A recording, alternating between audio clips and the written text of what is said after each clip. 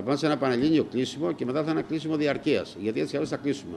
Κατέβασαν ρολά τα καταστήματα εστίας και αναψυχής νομού Αχαία στις 18 Μαρτίου σε μια κινητοποίηση που προκάλεσε αίσθηση στο Πανελλήνιο. Έκλεισαν για να μην τους κλείσουν, αντιδρώντας στις ασήκωτες οικονομικές υποχρεώσεις που τους έχει φορτώσει το κράτος και δεν το βάζουν κάτω. Συνεχίζουν προγραμματίζοντας τις επόμενες διαμαρτυρίες τους. Κατά λοιπόν αυτών από την Ελλάδα, στο Διοικητικό Συμβούλιο που είχαμε στο Σκιανά χτες το απόγευμα, αποφασίστηκε στις 10 Απριλίου ε, του 19 ε, να γίνει μια πανελλήνια συνέλευση όλων, ε, όλων των ε, σωματείων εστίασης και με την παρουσία, ε, παρουσία βέβαια και της ΓΕΣΕΒΕ του Άνωτρου Συνδικαλιστικού Οργάνου μας και επίσης θα κληθούν και τα συναφή επαγγέλματα από τον νομό Αχαΐας, δηλαδή αρτοποιοί, ψαράδες, κρυοπολία, μανάβικα, οι οποίοι θέλουν και αυτοί να συμμετέχουν στη δράση.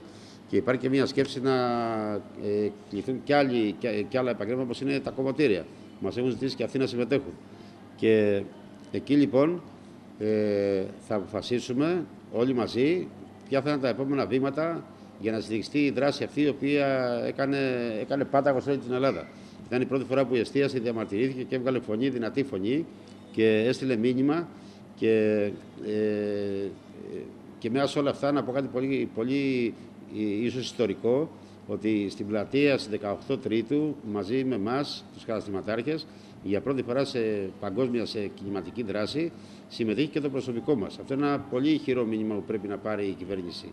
Σκοπός τους να φτάσει το μήνυμα στην κυβέρνηση και να δοθούν ουσιαστικές λύσεις. Μετά από το ψήφισμα που θα βγει στις 10 Απριλίου του 2019, ε, μετά τη συνέλευση, ε, έχουν ε, οριστεί ραντεβού και με τον Πρωθυπουργό και με τον ε, αρχηγό της αξιωματικής αντιπολίτευσης, τα οποία θα γίνουν τις προσεχείς μέρες μετά την ε, εκδήλωση, για να καταθέσουμε την πρότασή μας, γιατί κοιτάξτε όταν καθόμαστε σε ένα τραπέζι, πρέπει να είμαστε όλοι ευχαριστημένοι. Και η κυβέρνηση και εμείς και οι εργαζόμενοι. Ή και το αντίστροφο, οι εργαζόμενοι εμείς και η κυβέρνηση.